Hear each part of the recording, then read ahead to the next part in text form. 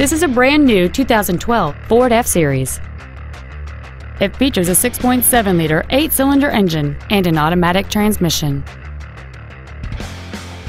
Features include a low tire pressure indicator, traction control and stability control systems, front and rear reading lights, a trailer hitch receiver, an engine immobilizer theft deterrent system, an anti-lock braking system, side curtain airbags, door reinforcement beams, and power steering. Please call today to reserve this vehicle for a test drive.